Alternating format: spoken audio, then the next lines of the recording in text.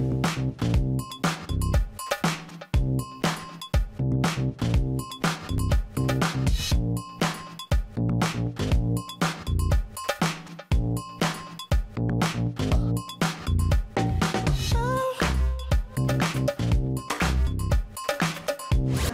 Continuación vamos a hablar de maquillaje. Tenemos con nosotros a una experta embajadora de una marca muy importante de maquillaje, pero especialmente una mujer que conoce muchísimo eh, cómo sacarnos provecho, cómo maquillarnos y tiene un maquillaje espléndido al natural. Ella es Cristina Machado y estamos encantados de contar con ella. Cristina, buenas tardes. Hola Beatriz, muchas gracias.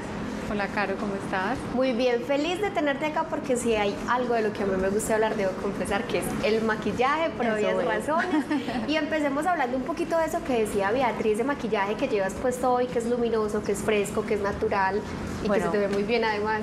A mí me, eh, en el tema del maquillaje me apasiona embellecer. Entonces, no todos los maquillajes, los estilos de maquillaje son para todas las personas, ¿cierto? Entonces, en el caso mío, yo uso mucho el maquillaje natural y ojos solamente como resaltando un poquito eh, los contornos y un poquito de pestañina, porque mis ojos son chiquitos. Entonces yo necesito que no se vean más chiquitos, sino al contrario muy expresivos. Esto me ayuda muchísimo. En el caso de la piel me gusta tenerla luminosa, que se vea fresca, natural, que no se vea cargada y que tenga un poquito de brillito. ¿Cómo se logran esos, esos detalles que tú mencionas? Porque cuando uno te saluda, eh, se sorprende. Ay, ella viene a hablar de maquillaje y uno se imagina que va a ver a alguien Muy maquillado. como muy maquillado o con muchas expresiones de maquillaje para, para mostrar su, su talento y su trabajo. O digamos que es como una, una idea preconcebida que tenemos nosotros, pero cuando te mira te ve una piel, como tú dices, jugosa, fresca, luminosa y empieza a admirar el conjunto que lograste. Qué, qué bonito, como inspirar a las mujeres de esa manera. Sí, no, yo pienso que eh, lo principal para tener una piel fresca y luminosa son los hábitos, ¿cierto? Sí. Alimentarnos bien, hidratarnos mucho, cuidarnos mucho la piel en la mañana y en la noche, nunca nos acostemos con la piel maquillada. Dicen por ahí que un día de no quitarnos el maquillaje son cinco días de envejecimiento. Yo quedé traumatizada. quiere, entonces nadie. nunca Hay que hacer más. esa cuenta cada noche. Sí, entonces una piel hidratada, muy bien preparada antes de poner una base para que la piel reciba muy bien el producto Muy bien. y nos dure durante el día, que no se empiece a ver como eh, resquebrajada la piel, reseca, sino al contrario, que se fije muy bien y se vea linda. Estábamos viendo unas imágenes de unos maquillajes muy hermosos. Podemos hablar un poco de las tendencias de lo que estamos viendo hoy, de lo que llega además para esta Navidad, que en tendencias de moda puede ser mucho brillo, eh, colores fuertes, en el caso del maquillaje también. Bueno, lo que estamos viendo contigo hoy es exactamente lo que está en tendencia. Maquillaje, Estoy- perdón. Estoy trendy, estoy trendy. sombras muy cálidas, como tonos del atardecer, el brillo está en todo su furor, eh, así como lo tienes tú hoy. Además, los tonos cálidos para los ojos nos ayudan a ver eh, los ojos más claros. Así yo los tenga cafés, me ayuda a que se vean más claritos. Imagínate lo que puede hacer en unos ojos verdes o azules, se ve divino. Eh, algo que yo siempre, este, pues siempre, siempre, no me importa si se está usando o no, me encanta que los cacheticos se vean rosaditos, porque me parece que donde hay ese rosadito, hay como ese- esa juventud, frescura, que se ve la piel joven. Como rozagante y saludable. Igual con los labios, están usando los labios brillantes. No soy muy fan del brillo porque mm, soy, pues, como pueden ver, me gusta maquillarme natural, Sí. pero los brillos hasta nacarados, labiales nacarados que hace tiempo se usaron, otra Hace vez tiempo, están aquí sí. súper presentes. Cristina, sucede que cuando estamos aquí en Vitrina Trendy, los televidentes empiezan como a hacerse preguntas, a decir, ay, ¿será que yo lo que tengo en mi casa ya no me sirve, está en desuso? Eh, ¿Qué podríamos decirles a las personas para ayudarles a derribar mitos de cara al maquillaje, optimizar el uso de varias cosas? A veces pensamos que el rubor puede servir de sombra o cada cosa en su lugar. No, claro que sí. Bueno, primero que todo mencionaste un tema muy importante y es eh, no guardar maquillaje por mucho tiempo. Sí.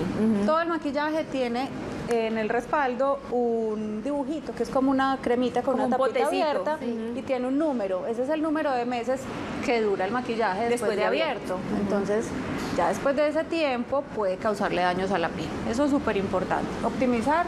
Súper importante porque somos demasiado antojadas las mujeres y lo que sale lo queremos comprar, pero a veces lo tenemos hasta dos y tres veces en nuestra caja de maquillaje o pues o cajón de maquillaje Entonces siempre ser muy conscientes de no llenarnos de cosas que no necesitamos. Y lo que tú decías también, a veces con el mismo rubor yo me maquillo los ojos, hasta con una sombra de ojos cojo el tono café más claro y me arreglo un poquito las cejas, hasta los labios me he pintado con rubor. Yo he hecho ser creativa. Sí, de labial la sombra. Sí. Quería hacerte una pregunta. Muchas veces nosotros eh, a la hora de decir invertir en maquillaje, si tenemos que priorizar en algún producto, ¿en qué nos deberíamos enfocar? ¿En un buen polvo, en una buena base?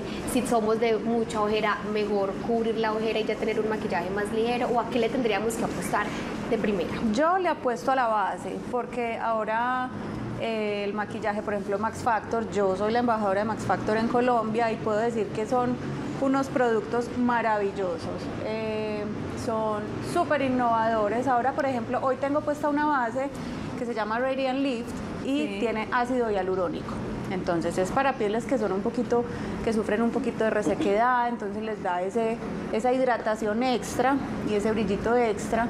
Entonces por ese lado le ayuda mucho a la piel. No solamente estamos maquillando, sino que estamos cuidando la piel. Exacto. Eh, y ahora uniéndome a la, a la, pregunta que hace Carolina, y nosotros a veces siempre en vestuario y en accesorios decimos hay los cinco infaltables. Entonces uno diría hay unas perlas, unos zapatos tipo estileto, la camisa blanca. Digamos que en maquillaje, si queremos hacer esa lista de básicos, ya que eres embajadora de esta marca, ¿cuáles serían esos que no nos deberían faltar? Bueno, uno, base. La base. Eh, el polvo no me hace mucha falta. Ah, base. Eh, pestañina de cejas, es un producto más o menos nuevo que lo sacan muchas marcas y me encanta porque además de fijar las, los pelitos de las cejas, tiene color, entonces quedan listas las cejas. Y logra, y logra maquillar las cejas de una, pues como en milímetros. Sí, como en una precisión, precisión. y quedan súper lindas. Entonces base, pestañina de cejas, pestañina de, de ojos, infaltable. el rubor, como les conté, me encantan los cacheticos rosaditos y un buen labial color natural. Y un buen labial, miren que no está tan difícil esa lista, precisamente ahora que estamos en diciembre, viene el 24 de diciembre, uno hace la lista de regalos o uno se va de compras, entonces según Cristina Machado, la base, pestañina, pestañina de cejas, la máscara de pestañas o pestañina, el rubor y un brillo labial. Perfecto, está muy fácil. Yo creo que de esos productos, el orden, la mía primero es la pestañina, porque imagínate, yo sin Con pestañina. esos ojos. no podría. Hay que aprovechar. qué rico tenerte acá para preguntarte sobre un mito que tengo acerca del ácido hialurónico, que precisamente lo nombrabas ahorita. El tipo de piel más joven o más madura eh, realmente incide a la hora de comprar productos con ácido hialurónico. Es decir, yo tengo 26 años y los puedo usar perfectamente o es mejor comprar ese tipo de productos cuando ya tengo una piel más madura. Eh, está más enfocado en pieles más maduras. ¿Por qué? Porque hay unas arruguitas, porque hay un poquito más de resequedad y ese ácido hialurónico te va a ayudar con esos problemitas. Pues no problemitas, sino condiciones. O sea, ese tipo de detalles. O sea, para tu piel puedes usar una base más liviana, eh, que tenga hidratación, no precisamente Eso lo digo porque, por ejemplo, en mi grupo de amigas, por contarlo así, uno siempre dice ácido, ácido hialurónico y lo compro, sin pensar en qué tipo de cantidad tiene, nada, por lo, precisamente por lo que puede hacer. Entonces sí que de pronto tener esa recomendación. Eso sí, súper importante. Ahora casi todas las bases tienen protección solar. Entonces rico cuando estemos comprando una base, fijémonos que tenga esa protección extra, aparte del bloqueador que nos ponemos antes en la preparación de la piel.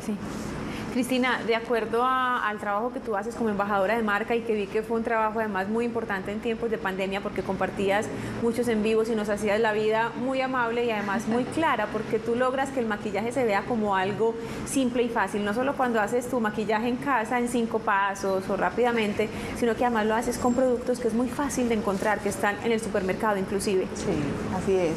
Eh, yo pienso, mira, yo soy una fan número uno de ver los tutoriales de maquillaje y me quedo pues ratos largos viendo cómo hacen paisajes en los ojos y cosas así pero la vida real es muy diferente y las mujeres necesitamos arreglarnos rapidito. Tú tienes hijos y sabes claro. lo que implica optimizar el tiempo mientras el hijo está diciendo mamá y la mamá se está embelleciendo. Sí, total. sí entonces es, es, fácil, maquillarse realmente es fácil, no debemos complicarnos, no, el maquillaje no es el mismo para todo el mundo, claro que depende de la forma de la cara, de los ojos, pero hay simples tips que nos pueden servir a todas las mujeres. ¿Y cuáles serían algunos de esos que podríamos aplicar? Bueno, mi tip súper salvador para los ojos, por ejemplo, porque pasa que cuando nos ponemos la base en toda la cara, los ojos empiezan a ver como chiquiticos. No sé si les ha pasado corrector, base, entonces los ojos se ven chiquiticos. Sí. El contorno en los ojos es súper importante porque con un pincel gordito hacemos como un arco en el párpado eh, superior y otra lineacita debajo no definida. Entonces esto nos le da importancia a los ojos y a la hora de poner la pestañina se ven divinos.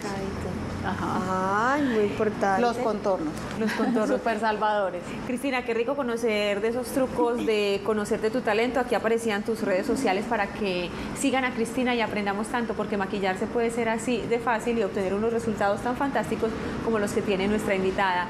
Cristina, muchísimas gracias por acompaparnos aquí en Vitrina gracias. Trendy.